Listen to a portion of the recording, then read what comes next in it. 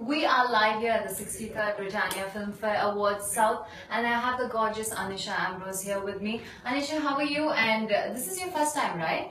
This is my first time.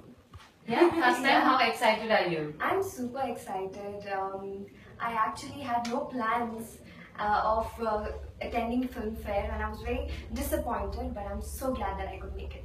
Yes, and I'm not going to keep you uh, from the whole awards ceremony, but I'm going to ask you a few fun questions, yeah? Done. Quickly. How would you react if uh, your car broke down in a crowded place? um, I just called my mom and dad and be totally chill about it or get an Uber. Yeah. Okay, so what would you do if you realize you put on 5 kgs overnight? Um, I'd be excited because it's very difficult for me to put on weight.